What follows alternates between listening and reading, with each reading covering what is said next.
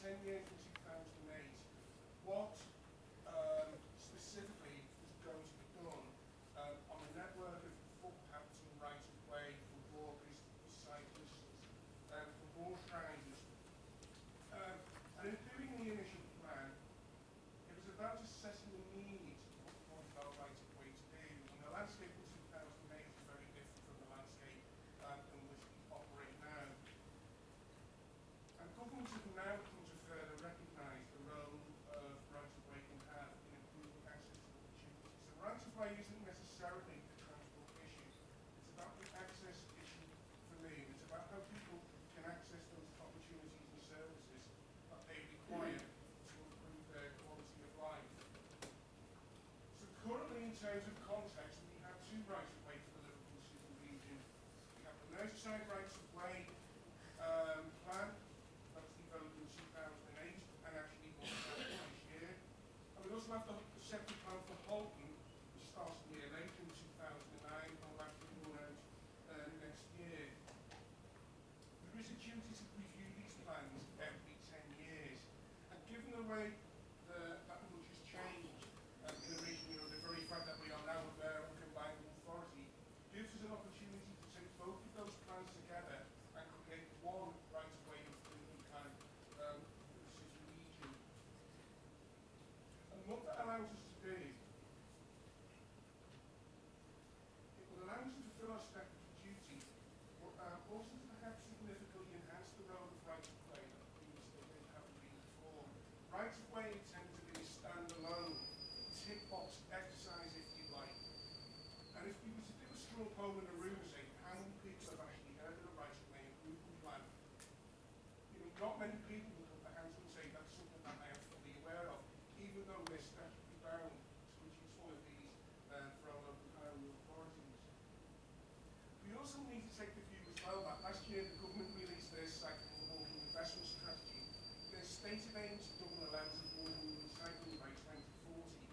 And that's going to put increasing demands on the local highway network. It's also going to put increasing demands on our rights of way network and, and how we can utilise what is very much an unused resource at the moment um, to help us affect that change. So one of the things that we will have to do is we will have to measure this. It's a national target for walking and cycling, and as a city region, we will need to measure our progress against that. So, reviewing the plan, we need to do this review every 10 years. So, one of the first things that we have to do is establish whether statements of statements of needs is just right away language saying this is what we're going to do. So the statements of needs in the original plan, and there are lots of them, we've now distilled those down to eight distinct areas, and, and they're set out uh, in the plan.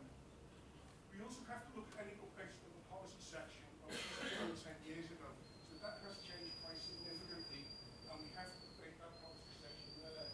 And I think more importantly, it's about taking rights of way well, actually, it's not always about the transport issue, it's about how rights of way link into lots of other things so we can raise this profile.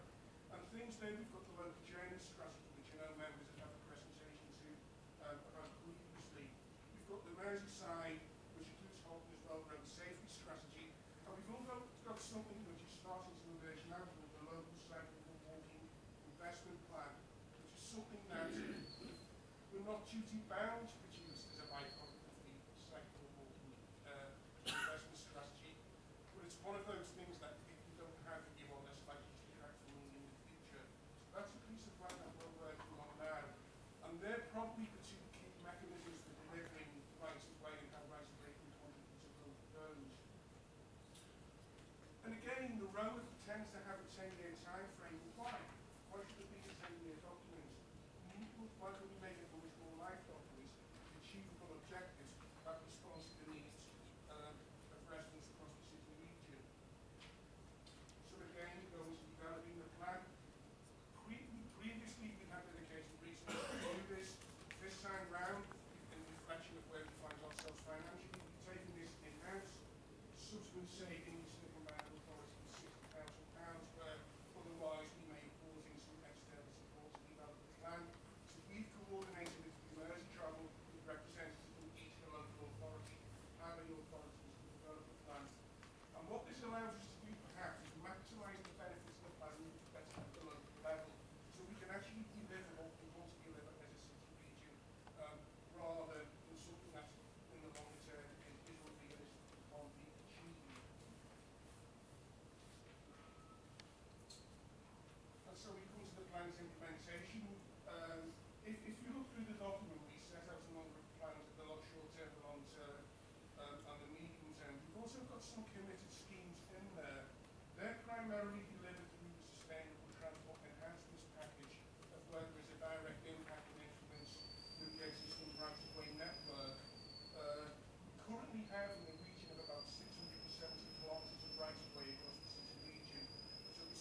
schemes that we're delivering through the STEP program, we'll put some new ones in, but will significantly enhance the existing infrastructure. And again, I've already mentioned we've got the action plan to develop. A lot of the stuff is aspirational, but that doesn't mean to say that it should be in there. Why should we not aspire to have the best right of network that we can possibly deliver? You know, we're only limited by the scope of our own aspirations. So to a certain extent, leave the money off the table. If we had a blank check, what would we want to deliver? And that's what we aspire to in the revised plan. It's also about monitoring and evaluation. I think one of the weaknesses of the first row is it didn't effectively monitor the outputs of what we did in terms of rights of way. So if we bring new in- piece of infrastructure in, what has been the impact? How many more people have we got riding bikes or walking? How has that increased access to doctors' surgeries, to schools, to uh, places, to local shops and amenities? I think that's a weakness in the process that we have to current road. And for me, it's all about evidence, evidence, evidence. If we're going to attract funding in the future to deliver this, we have to be able to demonstrate the business case. We heard Laura talking about presenting an outline business case for working the bus. The same equally applies for right of way and other things that we need to do.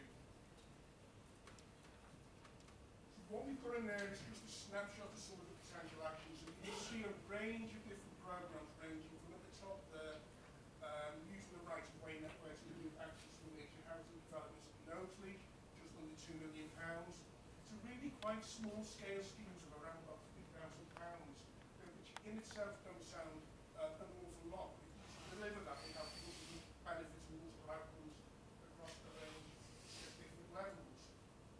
So why do we need to collect the evidence? Why do we need to build a business case?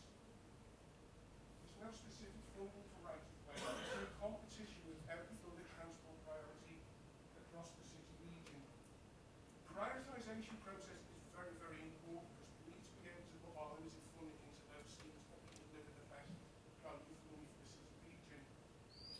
And right of way, unfortunately, on their own, are not going to score highly enough at the moment because they don't link to other things. And if you take recent issues that have been raised by the West Green Lobby, where they've said, uh, perhaps what we want is not sufficiently um, given high enough profile within the road safety strategy or within the right of way. It's like lots of things, you go through the prioritisation process, that is not necessarily in favour of certain schemes. And we need to be able to say the right of you know, for some schemes are relatively cheap to implement, but they can deliver really quite good benefits uh, for the city region. This takes me back to the evidence, evidence, evidence, the monitoring and evaluation that we do not good um, as in the past. And I think this is one of the issues that needs to be talked about in the members' workshop at the end of January, uh, beginning of February. We're going to talk about a lot of issues relating to the local journey strategy, and I think this needs to be part of it. Um, so what I've got here is just a series of slides that just takes everything I've just said and distills it into this series of diagrams. So where I think right of way needs to sit to help us deliver everything up the top there. So we've got stakeholders within a 12-week consultation period on this right of way. So all of those comments have been incorporated and helped us develop the plan that you see. The plan there links into cycling and walking with local authority priorities, feeding through into the local journey strategy, then onto that kind of city region level, linking to visitor economy, um, the housing, s- the housing strategy, the local transport plan, and other kinds of priorities. At the more local level, I said this is not just about transport, um, and again, this is not an exhaustive list by any stretch of the imagination, just an illustration to show you how right of way can help deliver across multiple objectives and multiple partners. So if say health and well-being there, we can get more people onto our right of way network, they're walking and cycling, they're getting fitter, they're starting to address obesity problems, they're starting to improve mental health, they're starting to improve air quality, and you can then start to see the benefits roll out. On this slide here, takes the 54-page document that you've got distills it into one slide. And it works as a little bit of a logic map, if you like. So what we've got over here is, this is the aim of the right-of-way plan, the context, the three priorities um, as set out in the transport plan for growth, our wider city region strategic priorities. These are the eight statements of action that I talked about earlier, they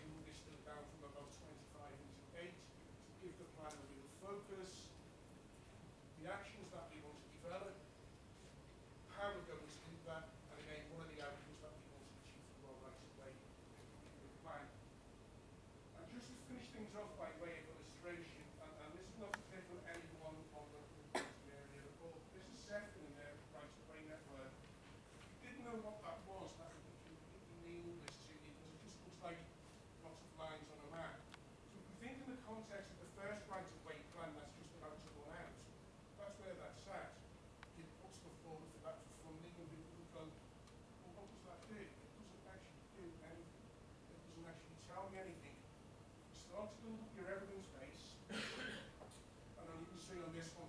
blue there you've got the tourism sites of the Sefton Coast. You've got the orange blocks there are the major housing developments, the red are the main employment sites. If you then start to add on the rail network, the network, you can see how the right of way the kind of the glue that kind of starts to link all of these together.